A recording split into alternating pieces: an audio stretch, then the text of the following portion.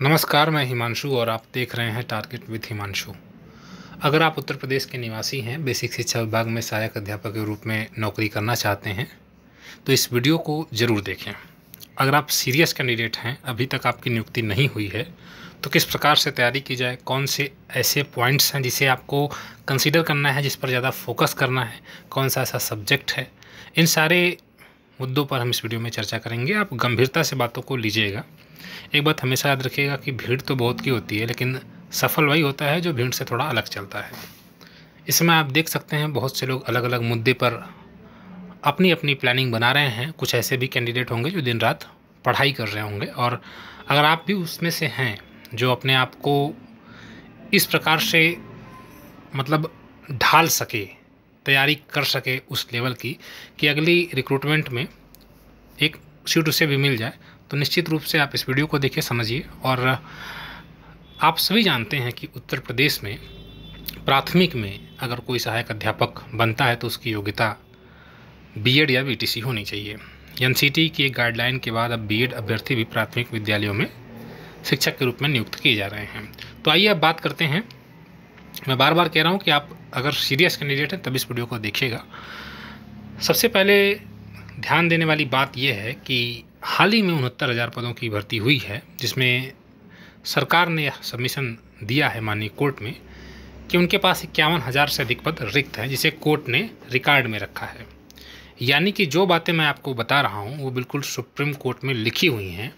On record की इक्यावन हज़ार पद गवर्नमेंट के पास खाली है, जिस पर रिक्रूटमेंट आने वाले टाइम में होगा। और एक बात और है कि उसमें शिक्षा मित्रों को भी मौका मिलेगा, लेकिन ये एक अलग मैटर है। ये तो क्लियर है कि इक्यावन हज़ार पद हैं रिक्त। और इनको उस पर भर्ती करनी है, क्योंकि ये कोर्ट को तो गुमराह नहीं कर सकते। तो ये बिल्कुल सच है कि इक्यावन हज़ार पदों पर भर्ती होगी। ठीक है? अभी आप पर डिपेंड करता है, कुछ लोग सोचते हैं या कुछ लोग झूठी तसल्ली देते हैं कि नहीं होगी या लेट होगी। भाई होगी, जब भी होगी वो होगी। और उस दौरान जो अपने आप को बेहतर साबित कर लेगा, दस लड़कों में एक लड़का सेलेक्ट होगा, ये समझ लीजिए। क्योंकि आप ही जानते हैं कि इक्यावन हज़ार पद है तो पाँच लाख से ऊपर फॉर्म भी बनेंगे। ठीक है? अब मैं टी के बाद की बात कर रहा हूँ। जैसे अभी इसके पहले उनहत्तर हज़ार था तो उसमें चार लाख दस हज़ार शामिल हुए थे। अब मैं पाँच लाख ऐसे बता दे रहा हूँ, हो सकता है उससे अधिक संख्या रहे और बल्कि संख्या अधिक ही रहेगी। हाल ही में बी और बीटीसी नए कैंडिडेट पास हुए हैं और पिछली भर्ती के भी कैंडिडेट हैं तो ज़ाहिर सी बात है संख्या बढ़ेगी ही।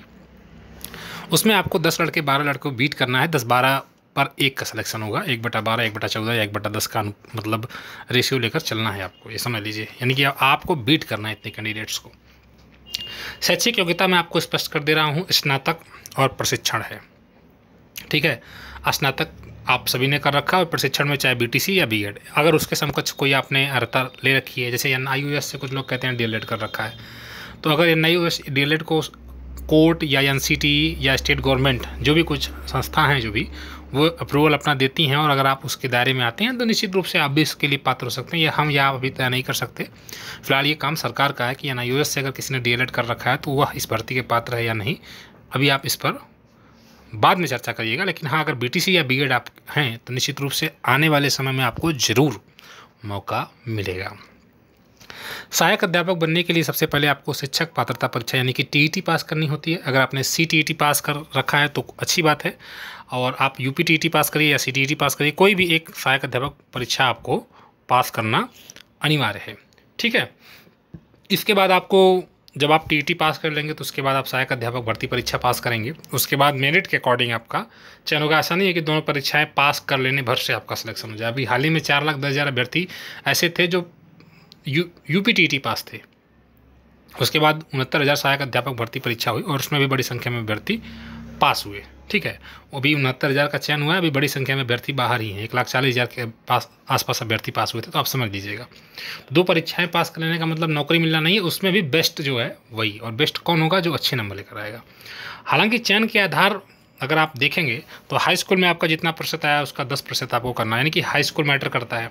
इंटर मैटर करता है, स्नातक मैटर करता है बीटीसी या बीएड भी मैटर करता है। हाई स्कूल में आपका जितना प्रतिशत है, उसका दस प्रतिशत इंटर में जैसे मान लीजिए साठ प्रतिशत आपका हाई स्कूल में तो वो छः अंक जुड़ेगा, साठ का दस प्रतिशत छः उसी प्रकार से इंटर मान लीजिए सत्तर परसेंट है तो वो सात। तो ये टोटल मिलाकर चालीस परसेंट बनाएँगे आपका।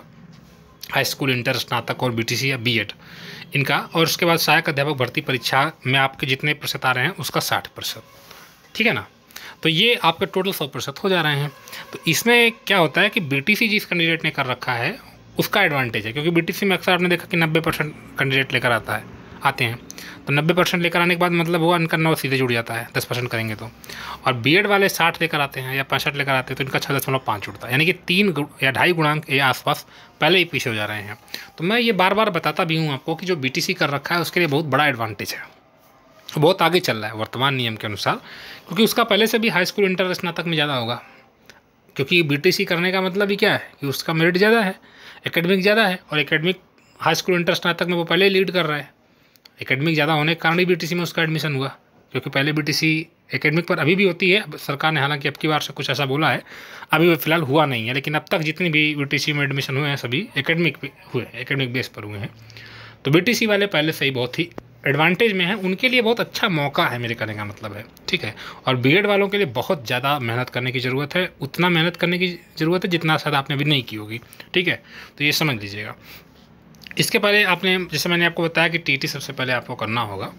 और टीटी में, टीटी पास करना होगा और टीटी में आपके पास पाँच सब्जेक्ट होंगे, हिंदी, अंग्रेज़ी या संस्कृत में से कोई एक आप चयन कर लीजिएगा। गणित, मनोविज्ञान और पर्यावरण। यहाँ बहुत से कैंडिडेट के लिए मनोविज्ञान नया सब्जेक्ट आएगा मतलब बनकर आएगा। हो सकता है उन्होंने मनोविज्ञान को बहुत सीरियसली नहीं पढ़ा हो। तो मनोविज्ञान थोड़ा सा कठिन हो जाता है कुछ लोगों के लिए, उसमें नंबर कम आते हैं। जैसे हिंदी आपने एक, दो, तीन, चार, पाँच से स्टार्ट कर दी होगी। अंग्रेज़ी आपका पहले से इंटरेस्ट होगा। गणित आप फैमिलियर हैं इन सब्जेक्ट के। पर्यावरण के भी काफ़ी फैमिलियर है। बहुत ज़्यादा तो नहीं, लेकिन पर्यावरण के फिर भी आप फैमिलियर हैं। आपने थोड़ा बहुत अपना जियोग्राफी हिस्ट्री थोड़ा बहुत पढ़ा होगा। या तीन ऐसे सब्जेक्ट हैं जिसके आप फेमिलियर हैं, जो ज़्यादा स्कोरिंग में है, जहाँ पर आपको ज़्यादा ज़्यादा मेहनत करने की ज़रूरत नहीं है मनोविज्ञान और पर्यावरण की तुलना में। इनमें यहाँ पर आपको ज़्यादा ध्यान देने की ज़रूरत है, क्योंकि ये आपके लिए बिल्कुल नए हैं। मनोविज्ञान तो साइंस का स्टूडेंट होगा तो उसके लिए बहुत कठिन हो जाएगा मनोविज्ञान। तो इसलिए आपको इन सारे सब्जेक्ट्स पर फोकस करना है, जो आपका पहले से बहुत वीक रहा है, उसको आप सुधारने की ज़रूरत है। इसमें आपको 150 अंक की परीक्षा होती है, तीस तीस नंबर के सारे टी में आएँगे, और जब आप ये पास कर ले जाएँगे तो फिर आपको अगली परीक्षा देनी होगी, शिक्षा चयन परीक्षा। ठीक है?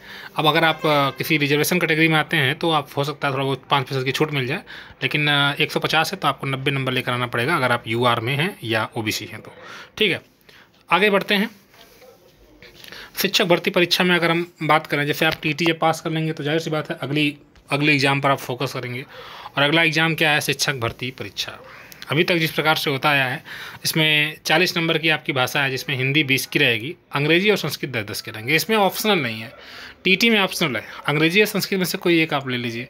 लेकिन शिक्षक भर्ती परीक्षा में कोई भी ऑप्शनल नहीं है। सारा आपको चूज़ करना पड़ेगा। हिंदी बीस का रहेगा अंग्रेज़ी और संस्कृत दस दस का रहेगा मतलब आपको पूरा एकदम निचोड़ दिया जाएगा, आपका पूरा नॉलेज चेक कर लिया जाएगा। आप किसी चीज़ से भाग नहीं सकते हैं। आप शिक्षक बन रहे हैं तो आपके पास कॉमन सेंस कॉमन नॉलेज होना चाहिए। हिंदी, अंग्रेज़ी, संस्कृत तीनों का, ठीक है? क्योंकि आपको प्राइमरी में पढ़ाना है। विज्ञान है, गणित है, पर्यावरण है, सामाजिक अध्ययन भी इसमें आपका रहेगा, देख लीजिए। विज्ञान के दस प्रश्न रहेंगे, गणित के बीस प्रश्न रहेंगे। शिक्षण कौशल है, दस अंक के रहेंगे। बाल मनोविज्ञान, दस अंक के रहेंगे। समसामयिकी से अच्छे खासे क्वेश्चन आते हैं। अभी हाल ही में शिक्षक भर्ती परीक्षा हुई थी, उनहत्तर हज़ार की। उस सेट में काफ़ी प्रश्न करंट से आते हैं उसके पहले अड़सठ हज़ार पाँच सौ हुई थी, उसमें भी करंट से आते हैं। तो करंट अभी पढ़ने की आपको ज़रूरत नहीं है। इस वीडियो में हम एक विषय पर थोड़ा सा चर्चा करेंगे कि उसको किस प्रकार से तैयार किया जाए। देखिए, आपको सारे सब्जेक्ट को तैयार करना अगर आप बी कैंडिडेट हैं, तब तो आपको एक एक एक एक जो मतलब चैप्टर है, उसको इतना बढ़िया तरीके से पढ़ना है कि आप समझ लीजिए 150 का अगर है तो 125 120 से ऊपर ही नंबर लेकर आइए, तभी आप अपने आप को सिक्योर मानिए। और अगर आप बीटीसी कैंडिडेट हैं तो भी आप 105 110 तक टारगेट लेकर चलिए कि आप अपने आप को मतलब दुविधा में मत रखिए ना। आप हमेशा अपने, अपना बेस्ट देने का प्रयास करिए। तो अब मेरे कहने का मतलब है, आप बी टी हैं तो आप ये मत सोचिए कि मुझे 105 ही लाना है। मुझे भी अधिक से अधिक मार्क्स लेकर आना है, तभी मेरा सिलेक्शन होगा। ठीक है? तो सूचना तकनीक हो गया इंटरनेट हो गया कंप्यूटर हो गया, ये सब भी है। यहाँ से भी आपके पाँच नंबर के प्रश्न आएँगे और जीवन कौशल से शिक्षण की भूमिका क्या है? इसमें भी आपके दस अंक के प्रश्न पूछे जाएँगे। रीजनिंग आपकी पाँच अंक की रहेगी। ठीक है? यहाँ सामान्य ज्ञान रहेगा, थोड़ा बहुत उसमें इतिहास, भूगोल और जो भी आपका मतलब बेसिक क्वेश्चंस हैं, वो कवर कर लेते हैं। पेपर शटर ठीक है? तो ये आप देख पा रहे हैं कि ये कितना कितना मतलब सब्जेक्ट है। बाकी कंपटीशन एग्ज़ाम में आपने देखा है, चार विषय आप एसएससी का एग्ज़ाम देते हैं, चार विषय पढ़ के जाते हैं। आप अन्य गवर्नमेंट एग्ज़ाम बैंक का एग्ज़ाम देते हैं, चार विषय, पाँच विषय रहता है। लेकिन यहाँ पर आप देख पा रहे हैं तो पूरा का पूरा एकदम गट्ठर बना दिया गया है सब्जेक्ट्स का। इतनी ज़्यादा हैं, भाषा है, विज्ञान है, गणित है, पर्यावरण है बाल विज्ञान है, ये सारी चीज़ें हैं, ठीक है? तो ये आप समझ लीजिए, इस पर आपको बहुत हार्ड वर्क करना है, तभी आप इसमें स्ट्रांग हो पाएँगे। अब चयनित होने का मूल मंत्र, एक मंत्र इसमें हम देंगे। सबसे पहला हथियार है आपका गणित। गणित को बनाए हथियार आप। अगर आपको सिलेक्शन लेना है तो मैंने अक्सर देखा है, और ये मैं मतलब देखता हूँ लड़कियों के अंदर ज़्यादा प्रॉब्लम आती है, वो गणित से भागती हैं। ठीक है, मैंने कोचिंग भी मतलब दी थी तो उस दौरान भी जो गर्ल्स आती थी तो उनको ऐसा लगता था कि जैसे मैथ बहुत स्ट्रांग नहीं है, बहुत वीक है, मुझे मैथ नहीं आएगा। ये इस प्रकार की धारणा बना के रखी रहती हैं। कुछ ऐसे भी लोग होते हैं जो बहुत पहले से मतलब पढ़ाई जिनकी छूट चुकी होती है, गर्ल्स के साथ अक्सर ऐसा प्रॉब्लम होता है कि उनके सामने कंडीशन कुछ ऐसी आ जाती है, घर की जिम्मेदारियाँ जाती है तो वो फिर पढ़ाई अपना नहीं कर पाती तो फिर वो एक मतलब उनका बीच का ड्रॉप कर दिया जाता है, छूट जाता है। और बॉयज़ के लिए कुछ होता है कि वो मतलब बाहर निकल जाते हैं मतलब गर्ल्स और बॉयज़ में थोड़ा सा डिफरेंस आ जाता है। मैं ये देख पाता हूँ कि बॉयज़ को ज़्यादा एडवांटेज मिलता है गर्ल्स की तुलना में, और वो पिछड़ जाती हैं, ठीक है? मैथ से भागती हैं बार बार डरती हैं। अंदर एक उनके कॉन्फिडेंस नहीं बन पाता है मैथ से। ये मैथ मेरे लिए, मुझे मैथ नहीं आता है। मैंने ये कई बार सुना है, कई कैंडिडेट से सुना है कि मैथ नहीं आता है। ये गलत है। आप अगर ऐसी धारणा लेकर परीक्षा में जाएँगे और आप पहले से ही अगर ये सोच के बैठे हैं तो फिर आप समझ लीजिए पहले ही पिछड़ जा रहे हैं और बहुत ज़्यादा पिछड़ रहे हैं। थोड़ा मोड़ा नहीं, क्योंकि आपको बीस नंबर का मैथ यहाँ पर करना है। टीटी भी है। टीटी मान लीजिए आप साइड में कर दीजिए। टीटी आप पास भी कर लेते हैं किसी प्रकार से तो फिर आपको सुपर टीटी में बीस तो मैथ से भागिए मत। मेरी बात आप ध्यान दीजिएगा। मेरी बातों को समझिए। मैं खुद भी एक्सपीरियंस रहा हूँ। मैं, मुझे भी पहले मैथ नहीं आता था। फिर मैंने बहुत मेहनत किया मैथ पर। और अब मैथ बहुत अच्छी कंडीशन में है, ठीक है? तो गणित को आप हथियार बनाइए, भागिए मत गणित से, उसको पढ़िए। और प्रश्नों की प्रकृति क्या होती है? जैसे आप ये परीक्षा देने जा रहे हैं आप एसएससी लेवल का मैथ तो यहाँ पूछेगा नहीं। एसएससी आप सीजीएल और सी एच एस एल का एग्ज़ाम तो देने दें कि मैथ बहुत हार्ड लेवल का या बैंक का मैथ नहीं पूछने वाला, वो आपसे बेसिक मैथ पूछेगा छोटी छोटी चीज़ें पूछेगा, बहुत टफ क्वेश्चन मैथ के नहीं आने हैं, सबसे पहली बात, ठीक? तो आप ये मतलब अपनी दिमाग में निकाल से निकाल दीजिए कि मैथ कठिन है, बल्कि यहाँ आसान से सामान्य स्तर के प्रश्न इसमें पूछे जाएँगे। ये आप किसी भी सेट का टी उठा लीजिए और सॉरी अभी शिक्षा भर्ती भी हुआ है, दोनों को देख लीजिए। मैथ बहुत टफ नहीं रहता है, आसान से कठिन, ठीक है? और सबसे बड़ी बात है कि मैथ एक ऐसा सब्जेक्ट जो 100 परसेंट स्कोरिंग होता है, यानी कि अगर आप 20 नंबर देख रहे हैं तो 20 में 20 ला सकते हैं, ठीक? सीना ठोक कर आप कह सकते हैं कि मेरा 20 में 20 नंबर आ जाएगा। ऐसा मैं इसलिए कह रहा हूँ क्योंकि बाकी सब्जेक्ट में आप कितना भी तैयार कर लें, आप करंट कितना भी तैयार कर लें, आप जीएस कितना भी तैयार कर लें, लेकिन आप, सौ प्रतिशत स्कोर नहीं कर सकते। ठीक है? और मैथ एक ऐसा सब्जेक्ट है, जहाँ आपके कंसेप्ट अगर स्ट्रांग हैं, आपने पढ़ रखे हैं, आपने मेहनत किया है तो वहाँ पर आपके सौ में सौ प्रतिशत मार्क्स आएँगे। अगर आप पच्चीस क्वेश्चन आ रहे हैं मैथ के तो पच्चीस में पच्चीस आप सौ प्रतिशत सही कर देंगे, सटीक कर देंगे और वो आप उस दौरान जान भी जाएँगे क्योंकि आप हल करेंगे ना वहाँ पर। याद नहीं करने वाली चीज़ें, समझने वाली चीज़ें कॉन्सेप्ट को अप्लाई करने वाली बात है। तो मैथ एक ऐसा सब्जेक्ट है जहाँ आप बिल्कुल कॉन्फिडेंट के साथ अपियर हो सकते हैं और सौ में सौ प्रतिशत ला सकते हैं। यानी कि बीस नंबर का है तो बीसों ला सकते हैं। ठीक? गणित बहुत टॉप लेवल की नहीं रहती, ऐसा नहीं है कि इंटर का मैथ उठा कर देता। दसवीं का भी मैथ नहीं आता है। दसवीं में भी जो मतलब क्वेश्चंस अगर आप देखेंगे तो बहुत हार्ड हो जाएँगे। वो क्वेश्चन भी नहीं रहते हैं। भले वो कह रहे हैं कि दसवें स्तर के, लेकिन वो आठ से दस स्तर तक का रहता है क्वेश्चन आठवीं स्तर का अगर आप एन e वगैरह देखेंगे मैथ वगैरह का तो वहाँ से आपको ज़्यादा क्वेश्चन मिलेंगे, ना कि दस का। ठीक? तो ये भी समझ लीजिएगा आप। आठवीं से दसवीं स्तर के मैथ के सवाल रहते हैं, बहुत ईजी रहते हैं। एक एक अध्याय पर आप फोकस करें। मैथ को समझने के लिए या मैथ को सॉल्व करने के लिए, एक बात आप समझ लीजिए कि पहले जो भी मतलब आपका चैप्टर पढ़ना है आपको, उसको क्रम वाइज पढ़िए और उसका एक मतलब एक क्रम होना चाहिए, एक सीरियल से आप पढ़ेंगे नहीं, जैसे मान लीजिए आपको संख्या पद्धति पढ़ा पता नहीं है। संख्या पद्धति के पढ़े बिना आप डायरेक्टली आ गए लघुत्तम महत्तम पर, या आप अभी प्रतिशत नहीं जानते हैं और प्रतिशत पढ़े बिना आप आ गए चक्रवृद्धि ब्याज या मूलधन निकाल, चक्रवृद्धि ब्याज या चक्रवृद्धि मूलधन निकालने लगे तो प्रतिशत आपको पढ़ेंगे नहीं और लाभ हानि पर चले गए तो यह समस्या कर देगा, ठीक है? तो जैसे एक क्रम होता है, उस क्रम को आपको समझने की ज़रूरत है और वो क्रम से ही आप उसको पढ़िए, ठीक है? ये नहीं कि एक कोई एक चैप्टर उठा लिया, ये आपका भूगोल इतिहास नहीं है। कोई भी एक चैप्टर वैसे भूगोल इतिहास में भी अब क्रम होता है तो अब ये चीज़ आपको समझना है कि इसको एक क्रम से पढ़ना है। ठीक है। गणित एकमात्र विषय है जो प्रैक्टिस से आती है। जिस, जिससे जितनी ज़्यादा आप प्रैक्टिस करेंगे, उतना अधिक आपका ज्ञान आएगा, ठीक है। तो गणित के लिए आपको प्रैक्टिस करना पड़ेगा, ठीक है। सवाल लगाने पड़ेंगे। यानी कि आप डेली अगर पचास सवाल लगाते हैं, डेली सौ क्वेश्चन का टारगेट करते हैं कि मुझे इतना चैप्टर इस चैप्टर से, या मुझे, मैं कंपाउंड इंटरेस्ट लगा रहा हूँ तो मुझे इस चैप्टर से कम से कम पच्चीस क्वेश्चन आज करने हैं। और ये चीज़ आपको समझना है कि गणित एकमात्र ऐसी विषय है जो प्रैक्टिस से आती है, और जितना ज़्यादा आप प्रैक्टिस अपने आप करते जाएँगे, आपकी स्पीड भी गेन होगी, आपकी स्पीड बढ़ेगी। आप किसी भी क्वेश्चन को सॉल्व करिए, पहली बार सॉल्व करेंगे, देखिए तो आप ज़्यादा टाइम ले सकते हैं। उसको दूसरी बार सॉल्व करिए तो कम टाइम लेंगे। तीसरी बार सॉल्व करिए तो और कम टाइम लेंगे, चौथी बार तक तो आप उसको दिमाग में ही लगा देंगे। मेरे कहने का मतलब है कि अगर आप भूगोल इतिहास को अगर लिख रहे हैं तो वो आपका टाइम नहीं बचाएगा, लेकिन मैथ एक ऐसा सब्जेक्ट है जो आपका टाइम भी बचाएगा। पहले आप क्वेश्चन को साठ सेकंड में सॉल्व करते हैं, बाद में आप क्वेश्चन को अगर प्रैक्टिस करेंगे तो चालीस सेकंड में सॉल्व होगा, बाद में बीस सेकंड में क्रैक हो जाएगा। और यही चीज़ आपको समझना है। एसएससी और सी एस एल सी जैसे एग्ज़ाम में भी यही काम होता है। कुछ क्वेश्चन लोगों के द्वारा एक मिनट में किए जाते हैं, कुछ क्वेश्चन को लोगों के द्वारा वही क्वेश्चन तीस से चालीस सेकंड में क्रैक कर दिया जाता है। और वही लोग सिलेक्शन लेकर जाते हैं। इसमें कोई दो राय नहीं है। तो इस चीज़ को भी आपको समझने की ज़रूरत है कि गणित में आपको प्रैक्टिस करना है ताकि आपकी स्पीड बढ़े। अधिक प्रैक्टिस से सवालों को हल करने की गति बढ़ेगी, जैसा मैंने लिखा है। और शुरुआत में आप आसान प्रश्नों को हल करें। एक बात आप समझ लीजिएगा। अभी किसी ने कहा था कि कठिन क्वेश्चन को पहले करना चाहिए। आप शायद जानते होंगे। कमेंट बॉक्स में बताइएगा। ठीक? लेकिन मैं या कोई भी एक टीचर आपको यही बताएगा कि पहले आप ईजी क्वेश्चंस को करिए। जब आप ईजी क्वेश्चंस को करेंगे तो आपका एक कॉन्फिडेंस डेवलप होगा। आप कहेंगे, अरे, ये मुझे आ रहा है। तो आप जो भी चैप्टर्स उठा उठाते हो जैसे प्रतिशत उठा रहे हो जैसे चक्र विद्धि ब्याज उठा रहे हो जैसे लाभ हानि उठा रहे हो तो आप पहले आसान सवालों को करें। दो चार क्वेश्चन पाँच क्वेश्चन आसान सवालों को करेंगे। जब आसान करते जाएँगे तब आपके अंदर कॉन्फिडेंस डेवलप होगा कि मुझे ये आ रहा है। अब कुछ आ नहीं रहा है। अभी आप पहले दिन मैथ और लगाने लगे पूरा एकदम। सर समीकाएँ तमाम। और यहाँ पर आपको आ, मतलब डीमोटिवेट हो जाएँगे इस प्रकार की चीज़ें करने से। तो आप ये बात हमेशा याद रखिएगा कि आसान प्रश्नों को पहले करिएगा। अब आप कहेंगे सर किताब कौन सी हम रखें। देखिए, हमने जो किताबें पढ़ी हैं, हम उस पर आपसे डिस्कशन कर दे रहे हैं। हमने आर एस अग्रवाल की मैथ भी मैथ पढ़ी है। ठीक है। आर एस अग्रवाल की गणित आसक्ति आप अगर इसको लगाना चाहें, लगाइए। शिक्षक भर्ती की बात मैं कर रहा हूँ। आपको चा वैसे हम लोगों ने ये किताब मैंने किया है और चूँकि एसएससी के कैंडिडेट रहे हैं तो किरण प्रकाशन की एसएससी प्रीवियस ईयर आती है और राकेश यादव की, राकेश यादव की भी प्रीवियस ईयर आती है। तो राकेश यादव रीडर्स पब्लिकेशन की, किरण प्रकाशन की, आर एस अग्रवाल की गणित, ये तीन गणित की किताबें और लूसेंट की। ये चारों किताबें हम लोगों ने, या मैंने खुद भी पूरी कवर की हैं कई बार पूरे क्वेश्चन लगा डाले हैं। तो इस यहाँ आपको शिक्षक भर्ती पर फोकस करना है तो आपके पास सिर्फ़ दो किताबें हों। लूसेंट प्राथमिक अंगणित या आर एस अग्रवाल की गणित। दोनों में से कोई भी हो, आप उसको बढ़िया से लगाइए, मेहनत करिए प्रैक्टिस करिए। आपको क्वेश्चंस के लिए यहाँ पर आना पड़ेगा, ठीक है? जैसे ये देखिए, इसमें भी आपके बहुत टॉप लेवल के क्वेश्चन आ जाएँगे, जो आपके एग्ज़ाम से एग्ज़ाम ओरिएंटेड नहीं है, ठीक है? शिक्षक भर्ती की तैयारी कर रहे हैं तो आपके लिए लूसेंट पर्याप्त है। लूसेंट की प्राथमिक अंगणित आती है और बहुत अच्छी किताब है वो, ठीक?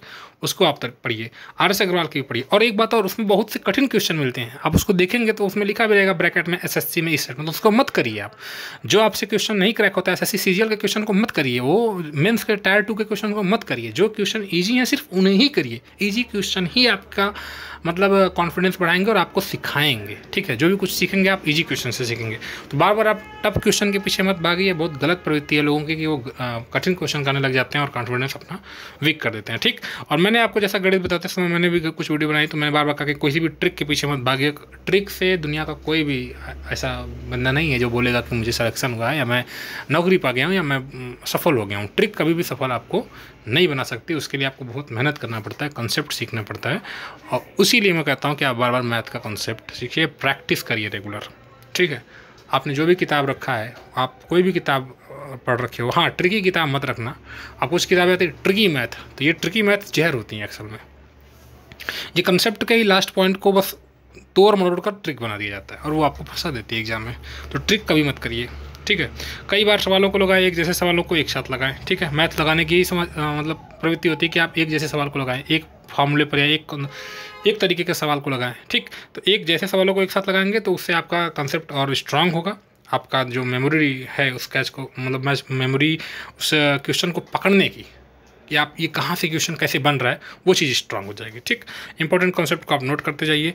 पहले पढ़ें, फिर प्रैक्टिस करें। कुछ लोगों को मैंने देखा है बार बार वो ये कहते हैं कि मैं ये प्रैक्टिस सेट कर रहा हूँ। कुछ यूट्यूबर्स आपको ये भी कराते हैं, वो डायरेक्टली प्रैक्टिस सेट कराने लगते हैं, भाई, कुछ पढ़ाओगे, कुछ सिखाओगे कि पहले प्रैक्टिस सेट कराओगे?